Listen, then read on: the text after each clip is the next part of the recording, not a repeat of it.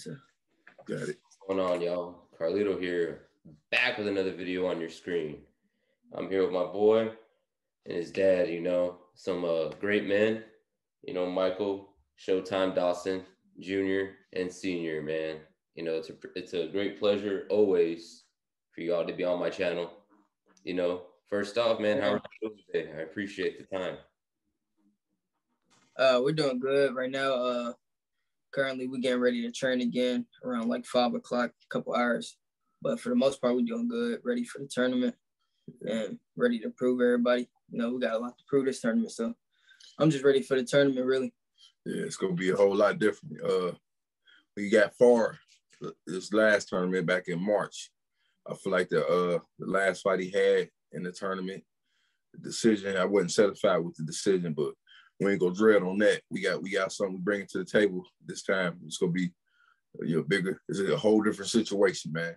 Older situation. We coming out with that number one spot this year. Hell yeah. Yeah, most definitely. For sure. I remember what y'all told me last time uh, about the decision at the last minute was this uh yeah, man. Gave him a, uh, they gave the other guy unanimous. unanimous decision. We don't watch the tape over and over and over. Impossible, man. But we ain't even gonna leave it in the judge's hands, man. That's the whole goal is to knock everybody out all Yeah. through the tournament. yeah. That's it. Hell yeah. So as all the the um getting ready for the tournament and everything else with the gym that y'all um that y'all train in and um y'all own it. Um how does how's everything else been? You know, uh. Cool, man. Everything been cool, man. I had a little situation, I had to deal with that, that COVID, man. So it slowed me down for a week, like a week and a half, whatever. I had to go to the hospital. It kind of slowed the training down. It didn't, I ain't gonna say it slowed the training down because they continued to train. Yeah, kept working. They kept working, you know, like a warrior. But it slowed me down from being being there as a coach. But now it's all good. I'm out. I feel 100 percent at 100 percent, and we back to training even harder. The whole team. That's dope. So many people got COVID, man. It was so uh Yeah, I know it's crazy. Yeah. out of nowhere too. It was nuts. And um, you know, the gym. You know, let me know about the gym. Like, has it changed at all? Have y'all got a lot more people? Well, we got man, it, it, it's up and down. It's up and down. You know, we have people that that come and go. You know, you got boxing the sport. You got to be a hundred fifty percent dedicated to. A lot of them ain't dedicated. You know, I understand people got other things going on in their life. You know, but sometimes we got people come and just waste our time. But right now, we, we still got a nice uh squad, but the focus is on the ones that's serious and more dedicated right now. You know, with this national tournament, I'm just focusing on the ones that's just right, right there ready to go down here and get this wins. Then we get back, we figure out everything with the rest of the team, you know? Yeah, Yeah. for sure. And um, you were saying something about like a, a leg injury or something like that last time, right? Uh, with me, uh, yeah, I had a um, I had something called uh, compartment syndrome in my legs, and I was supposed to get surgery for it, but we just held out on competition for like two months, and just focused on like uh strength training on my legs and uh make sure my legs is durable for three rounds and amateurs or three three rounds throughout the whole tournament. But now they uh they back in shape now, they good, so it's not really a problem. Now fight through it. If I if it do end up being a problem, I know how to fight through it now, so it's not really a problem anymore. Yeah, yeah, that's dope, bro. I'm glad that it um was able to fix itself in that, Right, without- that, um, Yeah, especially we want to try to avoid that. Yeah, for real. Because um, you know, I never had an in- um, I had an injury back in high school. You know, uh, with my sh- with my shoulder, elbow, and I was supposed to have surgery too, but I just never got it. But it just every now and then it kind of creeps up here and there. But you know, for the most Yeah. part, it's better. Right. good. So for the um, any any word about you know taking pro fights in the near Uh, like ne- coming near and stuff? coming up, yeah. Um, actually, the plan the plan was after the nationals, uh, to win the nationals, and then afterwards, uh, try to get my first pro fight in February, because I want to take uh the month of January to like travel around, spar with different pro fighters, get a lot more experience. So um, right now the plan is still to fight in have my first pro fight in February, But if I do end up going to Team USA and be, being able to fight overseas, international, and not hold off on pros, so I can get some more experience uh, internationally, and hopefully fight in the uh, AIBA tournament. Yeah, no doubt.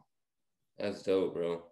Um, like, what would you rather prefer? Would you rather, you know, turn pro, or just keep at, um, you know, the amateurs and the going to nationals? Uh, like, how do you feel about like? I would, I would prefer, I would prefer to turn pro, but um, I think it'd be a better decision for me to stay amateur if I was able to go international, just because most amateurs they're not able to get um, international experience. So I think that'd be good for me to uh, get that experience before I turn pro, because most pros don't have that international experience. Mm-hmm. So that'd be a that me be coming into pro games up a level on everybody because I got the international experience that most pros didn't get the chance to get. Right. That's true. That's true. So what's uh what's one thing you want to take away from um boxing? Like after I know you're only a uh, you haven't turned pro yet, but mm-hmm. um then one of the new questions I've been asking, like what have you taken from it? You know, senior, what have you taken from boxing, you know, over the past, you know, years that you've done it? Mm. As far what you said, what have I taken from boxing? Yeah, what have you taken from boxing, and how has it helped you? You know, basically. Uh, man, help me with help me with helping that other guy, like helping the, not just my son, but other young men. You know, stay focused, keep them off the streets. It help with discipline for them as well. You know, and me, man, it, it's something to keep me going. It keep me going. You know, I've been doing boxing, keep me in shape too. So I've been doing boxing all my life, really, way before my son was born. You know, it been it been boxing, boxing, boxing. So it's like I, I live off of this. You know, just the boxing. That's what I get my energy from it. You know, so uh, since March, the things changed. I think I, I think we changed the way I uh got it. Okay. Mm-hmm. I changed since March. I changed the way we uh. I think our training routine is a little different. You know, and our our whole. Oh, keep got these calls coming in. Oh, it's all right. Our whole um draft, uh, as I said, uh, our attitude towards is a little bit different. We know how to go in here. Now we know what we got to go in here and do. You know, we know we can't go in here, play around in the ring. We can't leave it in judges. We got to fight a certain way. So it, we, we changed everything up a little bit since March. Yeah. And then for you, bro, like, you know, uh, working through everything, working through your injuries in the mm-hmm. past, um, how do you feel about where your career is at right now in boxing, and where do you? What's your all-time goal in boxing? Uh, right now, uh, I feel like my I feel like my boxing career is at a good point right now, just because we getting a lot of notability. Um, I do feel like I I can. It's always uh another level that you can reach. So right now, I'm just chasing another level, and then once I get to that level, I'm gonna be chasing another level. But uh, my my goal in this sport, uh, my main goal is just to be able to provide for my family. That's really it right now. And um and be a world champion. That's my that's my biggest goal. Once I reach that goal, then you know it's time for new goals. So that's my only goal right now. But back to the question about what I took from boxing. Um, yeah, I just took uh boxing. It it taught me how to be humble about a lot of stuff. Not only with boxing, but in life. Period. You got to be humble and that's what boxing taught me, and discipline as well. That's really what I took from boxing. Hell yeah, that's been dope, bro, and uh, really good, you know, really good answers and stuff. And it's just been it's been crazy, bro. Like it's been a roller coaster ride over here on this side too, and you know, I can't wait to see what happens. You know, right.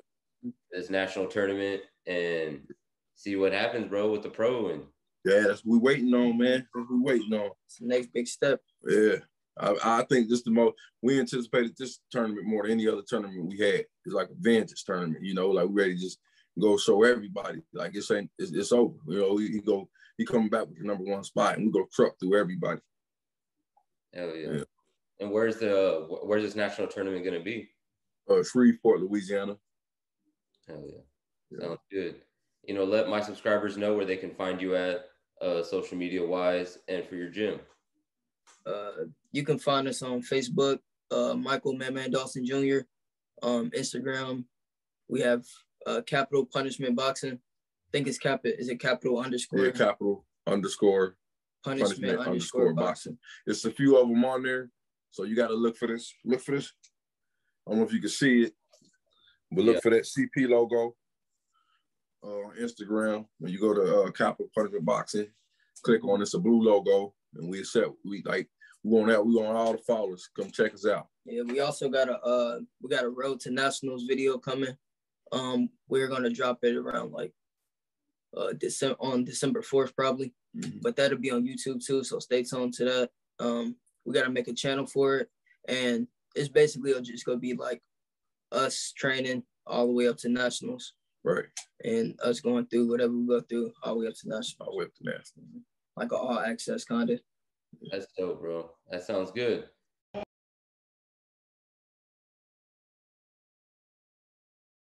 all the way. Are we going out tonight? All the way. I'ma chug the bottle, chug it all the way. Made it this far.